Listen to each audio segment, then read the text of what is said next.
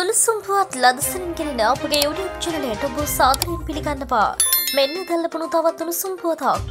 ගෙනෙකුණ දික සහ ඊට යාබද නිර්තතික බෙංගලපු කාශ්‍රිතව පවතින පීඩන අවපාතිය ත්‍රීකුණම්මලට කිලෝමිට්‍ර හාරිසිය පනස් පහක් පමණ නැගෙනහිර දෙසට බරව ගෙනෙකුණ දෙසින්න. අක්ෂංචංශක අටයි දශම එක සහ දේශංච අංශක අසූ පහයිදිශම තුන අසන්නේ කෙන්ද්‍රගතව පවතින බව කලගුණවිදයා දෙපාර්තමේන්තුව පවසනවා.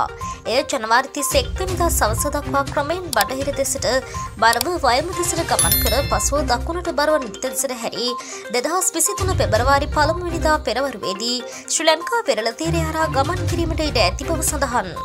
උතුරු නැගෙනහිර උතුරු මැද සහ උව පළත්වලත් මාතලේ හම්මත්තොට දිස්ත්‍රික්කවලාත් විටින් විට වැසිහෝ කිකරුම් සහිත වැසි ඇතිවිය හැකි. දිවයිනේ සෙසු ප්‍රදේශවල තැනින් තැන සවස් කාලයේදී හෝ රාත්‍රී කාලයේදී වැසිහෝ කිකරුම් සහිත වැසි ඇතිවිය හැකි බවද වාර්තා වනවා.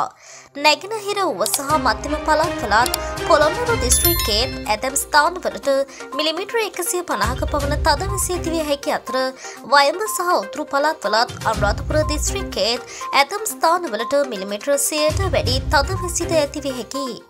නැගෙනහිර වුව බස්නාහිර මධ්‍යම සහ සබරගමෝ පළත්වලත් ගල්ල මාතර මුලතිව් යාපනය සහ කිලිනුච්ච දිස්ත්‍රික්කවලත් විටින් විට හමන පැඩි කිලෝමිට්‍ර පණහත් හැටත් පමණ තද සුලන් බලාපොරොත්තු විය හැකි.